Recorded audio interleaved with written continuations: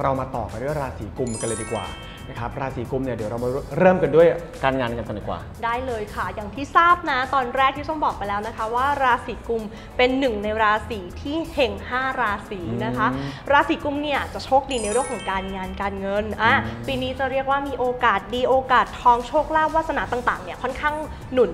อืมมีงานใหม่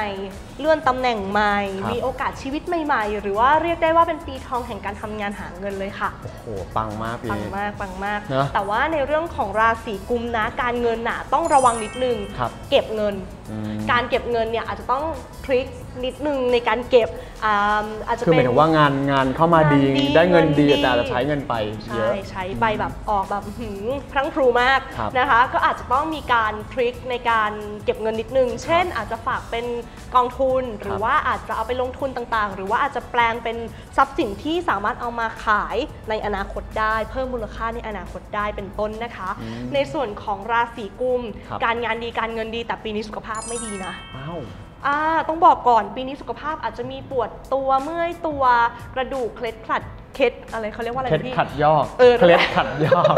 เคล็ดขัดยอกนะคะ ครับเพราะฉะนั้นเนี่ยระวังให้ดีเรื่องของเส้นเอ็นกระดูกกล้ามเนื้ออม อ่าเป็นเป็นปีที่ต้องระมัดระวังนะคืออาจจะแบบว่าออกกำลังกายแล้วก็เกิดอุบัติเหตุในการ ในการแบบออกกำลังกายออกกำลังกายเคลื่อนไหว รือว่าใช่หรือเดินเดินอยู่เอ้าขาพลิกอืมอะไรอย่างเงี้ยค่ะ ก็อาจจะต้องระวังให้ดีในเรื่องของสุขภาพนะคะสำหรับในเรื่องของความรักอ่าราศีกุมหลาย ๆ คนค่ะ สาวกุมหนุ่มกุมต่างๆเนี่ยครับ จะค่อนข้างมีเขาเรียกว่ากรรมเกี่ยวกับความรักมเออคืออาจจะรักแล้วไม่สมหวัง อาจจะรักแล้วเขาเทเราหรือเราเทเขาครับมันก็เป็นสิ่งที่เกิดขึ้นได้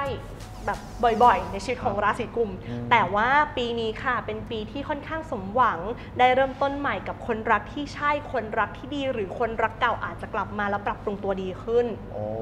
แล้วก็ในส่วนของเสริมดวงครับอ่าเสริมยังไงฮะเพราะว่าราศีเนี่ยค่อนข้างจะจะรู้สึกเหนื่อยในเรื่องของสุขภาพนะผมว่า ใช่ ในเรื่องของสุขภาพนะคะ การทำบุญเสริมดวงเสริมเฮงให้ปีนี้สุขภาพ แล้วก็เอ่อในเรื่องของการเก็บเงิน หรือครับว่าการบริหารจัดการในชีวิตตัวเองต่างๆดีขึ้นเนี่ยอันดับแรกวิธีการนะคะ อยากให้ราศีกุมมีในเรื่องของการใส่บาตรถวายสังฆทานอืมแล้วก็สวดมนต์นั่งสมาธิเป็นประจำในส่วนของวิธีการเหล่านี้มันจะเป็นวิธีการช่วยปรับพื้นฐานครับโครงสร้างของสมาธิตัวเองเออให้มีความนิ่งขึ้น สงบขึ้น หรือว่ามีสติมากขึ้นอืมมันก็จะทำให้วิธีการใช้เงิน หรือว่าการใช้ชีวิตระมัดระวังใช่ค่ะในปัญหาด้านต่างๆเนี่ยต้องมีสติมากขึ้นรัดกุมมากขึ้นใช่แล้วค่ะ ทีนี้ในจิวเวลรี่ค่ะครับ ใน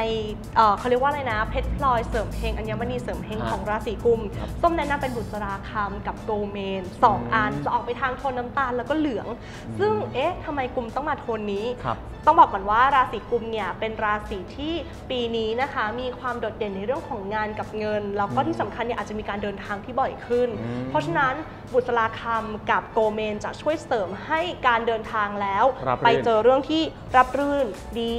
เสริมแล้วก็ส่งเสริมให้คนที่ไปเจอเนี่ยค่ะ ที่เราต้องไปเจอไปติดต่อธุระด้วยเนี่ยมีความ